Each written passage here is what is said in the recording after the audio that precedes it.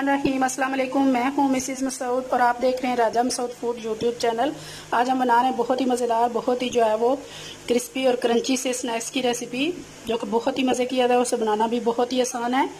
तो चलिए मिलकर बनाते हैं। इससे पहले बेशक तरह आपसे रिक्वेस्ट कि अगर आप हमारे चैनल पर नए हैं तो प्लीज़ सब्सक्राइब कीजिएगा और वीडियो को एंड तक लाजमी देखिएगा, स्किप मत कीजिएगा। तो चलिए मिलकर बनाते हैं ये खूबसूरत से और मज़ेदार से स्नैक्स।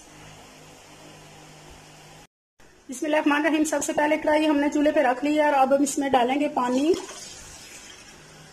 पानी हमने तकरीबन दो लीटर डाला है। अब इसमें डालेंगे एक चम्मच नमक। और इसके बॉयल आने का इंतज़ार करेंगे।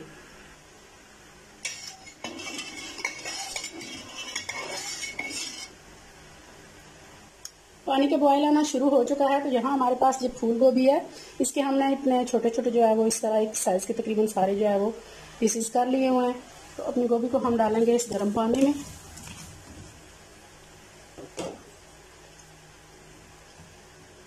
और तकरीबन दो मिनट के लिए इसे हम जो है वो बॉयल करेंगे। ज़्यादा नहीं, इसे करना बहुत ज़्यादा सॉफ्ट हो जाएगी ये। दो मिनट के लिए हमने इसे बॉयल करना है। बहुत ही मज़े के ये स्नैक्स होते हैं। वेजिटेबल जो पसंद करते हैं उनके लिए। बहुत ही टेस्टी वीडियो को इन तक है वो लाजमी देखिएगा। और अगर पसंद आई तो लाइक तो ज़रूर कर दीजिएगा। तो शेयर भी कीजिएगा। और अगर नए हैं, अभी तक हमारे चैनल को आपने सब्सक्राइब नहीं किया तो प्लीज़ जो है वो सब्सक्राइब भी कर लीजिएगा। ताकि हमारी हर आने वाली नई वीडियो का नोटिफिकेशन जो है वो आपको मिल जाए। हम इस चैनल पर बिल्कुल सिंपल सादा और जो है वो घर में बनाई जाने वाली रेसिपीज़ ट्राई करते हैं। इंशाल्लाह आपको पसंद आएँगी। दो मिनट हो गए हैं इसे बॉयल होते हुए और अच्छी तरह सॉफ्ट जो है वो वो भी हो चुकी है। तो अब हम इसको पानी में से निकालते जाएँगे।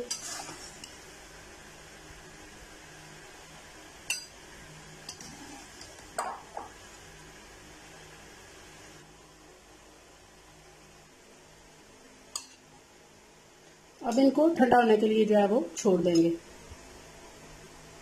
अब यहाँ पे एक बोल हमने ले लिया है तो अब उसमें डालेंगे ये एक कप हमारे पास जो है वो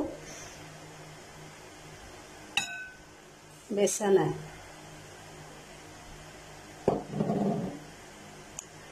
तीन टेबलस्पून हमारे पास जो है ये कॉर्नफ्लोर है।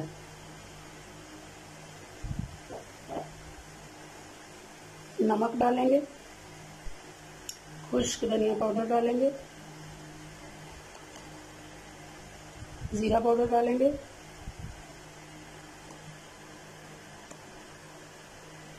सुरख मिर्च पाउडर डालेंगे। हल्दी पाउडर डालेंगे। एक चुटकी जो है वो ऑरेंज फ़ूड कलर डालेंगे। मिक्स करेंगे।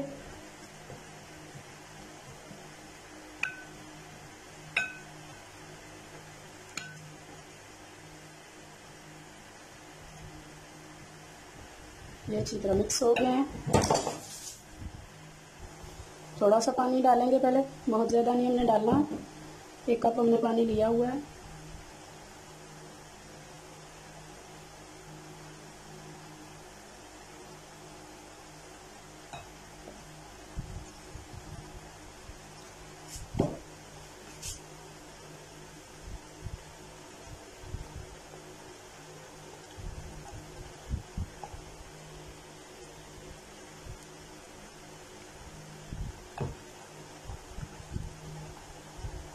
अच्छी तरह हमने इसको जो है वो मिक्स करना है, ताकि कोई जो है वो लम्स ना रहे इसमें।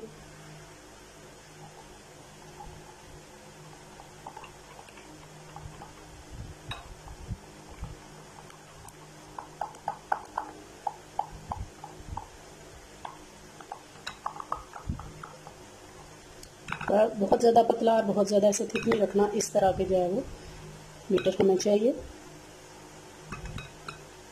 इतना ही थिक हमने ये बैटर रखा है।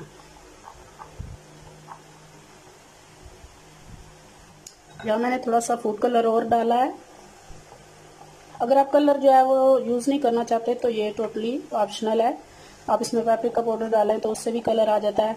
हमारी तो सुर्ख मिर्च जो है वो हमने प्रकार की जो है वो पिसवाई हुई है तो उनमें इतना कलर नहीं होता। तो हमने इसमें थोड़ा सा कलर जो है वो ऐड किया ताकि खूबसूरत सा हमारे स्नैक्स को जो है वो कलर आ जाए। बहुत अच्छी तरह ये मिक्स हो गया अब कलर भी। अब हम इसमें डालेंगे ये जो हमने गोभी को बॉयल किया हुआ था। मिक्स करेंगे इस तरह से।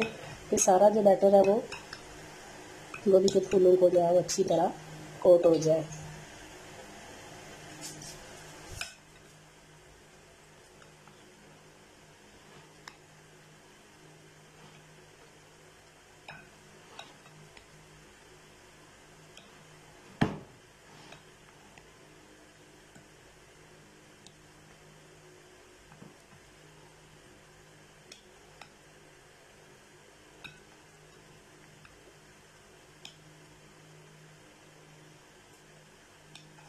अच्छी तरह जो है वो सारा बैटर गोभी के फूल को जो है वो कोट हो चुका है।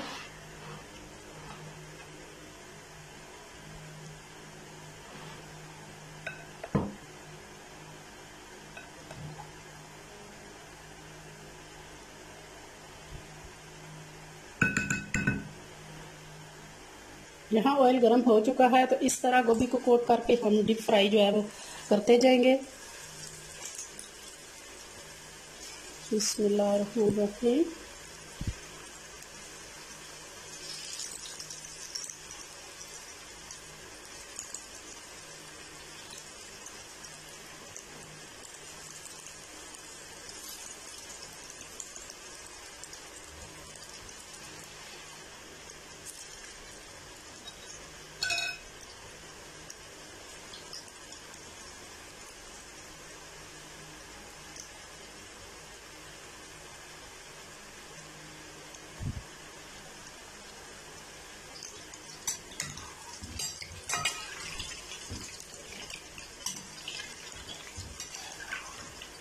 एक मिनट के बाद तकरीबन हमने इसमें चमचा चलाना है, माशाल्लाह, कितना खूबसूरत लग रहे हैं।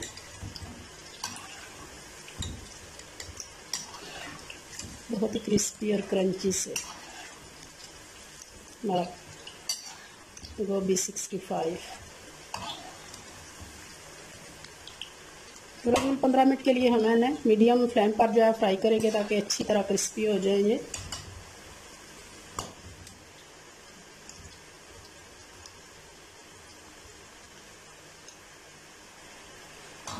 ये बहुत अच्छी तरह जो है वो क्रिस्पी हो चुके हैं।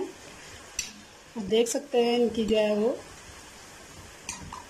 लुक भी कितनी खूबसूरत और क्रिस्पी और मज़ेदार लग रही है। अभी हम इनको निकाल लेंगे प्लेट में।